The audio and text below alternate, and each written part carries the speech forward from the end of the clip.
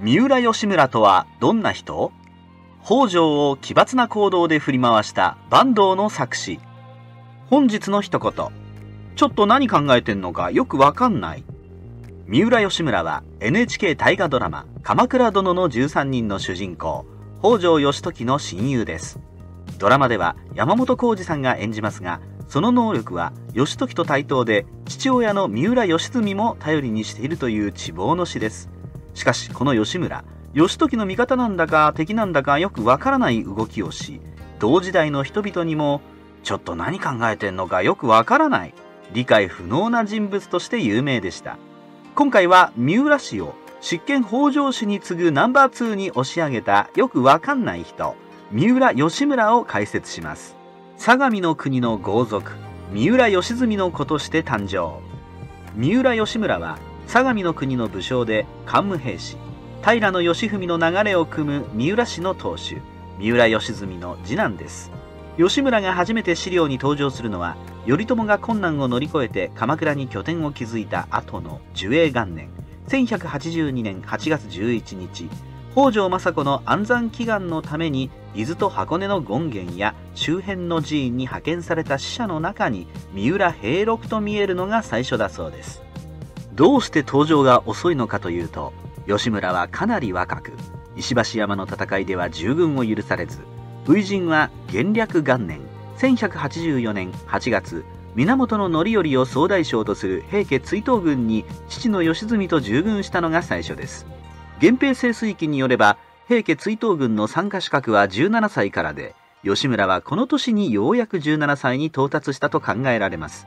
平家追討では特に目立った功績はありませんが父の義澄は13人の合議制に選ばれる有力御家人でありそれを引き継ぐ形で研究元年1190年頼朝上洛に父と共に参列し右兵衛の城に任官しました。源頼家の懐刀梶原景時を追放。三浦義村の活躍は義時と同じで頼朝が死んだ後に始まる御家人同士の権力争いから始まります。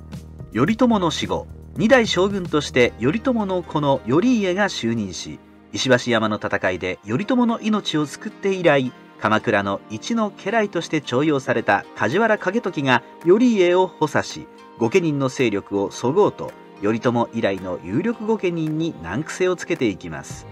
頼朝が死んで間もない頃重臣の結城智光が今の将軍は力不足で世が安定しないな。こんなことなら頼朝公が死んだ時に隠居すればよかったと愚痴をこぼしました。これを聞きつけた景時は頼家公の悪口を言っている処罰すべきと友光排斥を準備します。これを北条義時の妹阿波の局から聞いた友光は驚き吉村にどうしたらよろしかろうと相談します。吉村私に任せてください。これを機に鬱陶しい景時を追放しましょう。吉村はすぐ和田義盛と足立森長に相談し有力御家人66人の署名を集めて景時の横暴を非難し追放を望む球団状を作成。頼家側近の大江広元に提出し頼家に見せるように要請しました。広元は景時の有能さを惜しみ球団状を握りつぶそうとしますが軍事力を握る和田義盛が「おいさっさと将軍様に見せないとドカンだぜ」と御家人が爆発寸前だと脅しをかけます。鎌倉で内乱が起きることに恐怖した広元は頼家に球団状を見せ頼家も御家人の暴発を恐れて景時を追放しますその後景時は京に上洛して上皇に仕えようと一族を引き連れて相模の国を出た後駿河の国清水関で地元武士と小競り合いを起こし一族が全て討ち死にしました。畠山重忠の乱を利用し一族の恨みを注ぐ。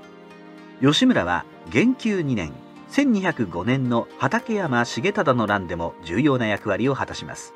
北条時政の5歳牧の方の娘婿平賀朝政より畠山重忠と重安不死が鎌倉幕府に謀反を企てていると残言があり時政は2人の処分を決断。この時吉村の命令で京都から重忠のいとこの稲毛重成に招かれ鎌倉にいた重安を由比ヶ浜で切り殺したのが佐久間太郎です。さらに吉村は偽の命令で武蔵から鎌倉に向かう重忠の百数十騎を撃つ討伐軍に参加し二俣川で重忠を討ち死にさせました。しかしここから事態は急転直下。重忠討伐の翌日夕刻吉村は畠山重忠と重康の謀反は濡れ衣だとして稲毛重成不死と討伐軍に加わった版画や重友不死を残言の首謀者として中殺したのです。三浦義村はかつて一族の居城衣笠城を畠山一族に攻め滅ぼされ長老三浦義明を重忠に討たれた遺恨がありその異種返しとも言われます。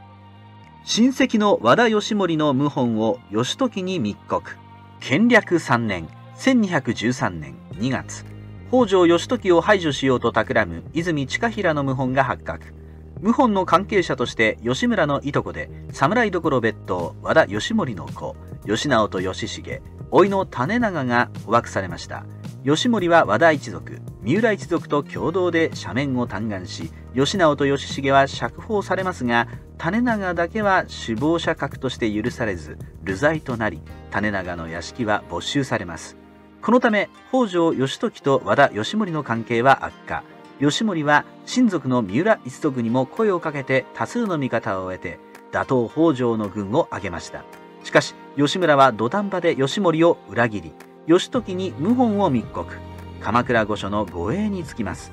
結果は将軍実朝を握っていた義時の勝利となり私は滅亡しました。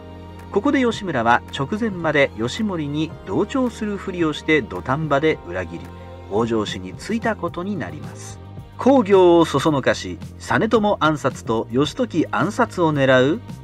憲法7年1219年1月27日三代将軍実朝が二代将軍頼家の子の工業に暗殺されます。工業は吉村に対し我こそは東国の大将軍である。その準備をせよと書状を出し吉村は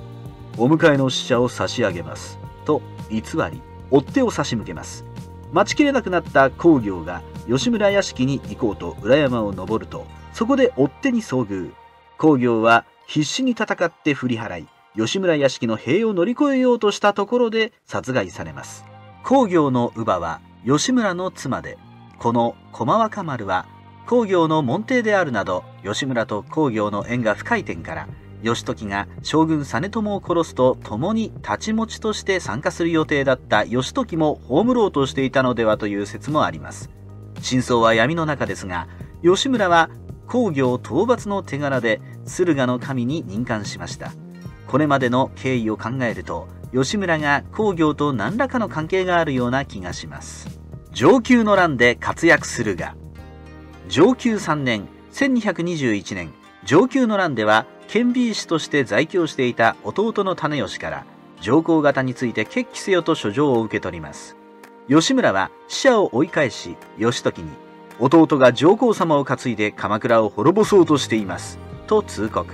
義時が京都へ向けて出撃を決めると吉村は東海道方面の総大将北条泰時と共に大将軍の一人として東海道を登り6月15日には当時で弟の種吉と相対します。しかし上級期時効自盆ではこの時種吉が思い返すも本当に悔しいことだ。もう果てようとも思うたが兄上が来たと聞いてこれからでも上皇様に会わせたいがどうかと吉村を説得。吉村はあたおかと話をしても意味がないとしてその場を立ち去ったそうです。種吉は上皇に兄上はイケイケどんどんだから鎌倉討伐の総大将に任じてくれればすぐにこちら側につきます。と楽観論を述べていたとされ吉村も直前までは上皇方について参戦する気だったのではないかと考えられています。前代未聞の皇室への処分を断行。戦後処理でも吉村は活躍し後鳥羽土帝純徳の3人の上皇を流罪としさらに後鳥羽上皇に連なる子孫を全て流罪出家。親戚降下させて後鳥羽法皇の血筋に連なる人間の皇位継承を認めない方針を取りました。その結果皇位継承者がユタヒト王しかいなくなったので幕府はユタヒト王の父で高倉天皇の第二王子の行女入道親王を天皇即位を経ずに地天の君として院政を敷かせユタヒト王を後堀川天皇として擁立しました。天皇の臣下である武士がここまでめちゃくちゃに皇室の人事をいじったことはそれ以前もその後もありません。吉村は非常な政治力でこれを成し遂げます。義時死後伊賀氏の乱に加担。元任元年1224年北条義時が病死します。この時5歳の伊賀の方が自分の子である北条政村を執権に娘婿の一条実政を将軍に立てようとした伊賀氏の変が起こります。政村の烏帽子親だった吉村はこの陰謀に関与しますが北条政子が単身で吉村屋敷に問いただしに訪れたことで本意釈面して二心がないことを確認。結局事件は伊賀の方の一族を追放するだけで収拾しました。しかし実際には伊賀氏の変は存在せず鎌倉殿や北条氏の代替わりによる自らの影響力低下を恐れた政子の伊賀氏に対するでっち上げ事件とも言われています。最後まで生き残り71歳で死去。家禄元年1225年夏。幕府の重鎮大江広元と北条政子が相次いで死去。同年12月には執権北条泰時により13人の合議制に代わり合議制の政治を行う評定衆が組織され、吉村は宿老として就任します。政敵や一族を葬り、ライバルである義時や政子が死んだことで、吉村の率いる三浦氏の地位は北条氏のナンバー2となりました。しかし、その後、吉村は、摂家将軍である藤原頼経に接近。その関係は、この安村に引き継がれ、後に三浦氏没落の党員になります。延王元年、1239年12月5日、吉村は71歳の長寿で大養生します。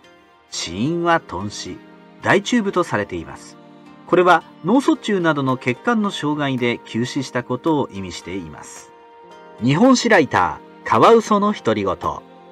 多くのライバルを陰謀で葬り、天寿を全うした吉村の家督は、息子の安村に継がれます。安村の烏帽子親は北条泰時であり、また泰時の娘を正室に迎えて北条徳州家と関係を詰めていきますが摂家将軍である藤原頼経に接近していく過程で牽制が北条氏を上回り執権北条時頼と側近の足立景盛に危険視されました。こうして北治元年1247年鎌倉で挙兵した三浦安村は北条時頼と足立景盛に敗れ一族は滅亡しました。吉村死後8年で北条氏をしのぐとされた三浦氏は滅亡し、北条徳州家は揺るぎない地位を築くのです。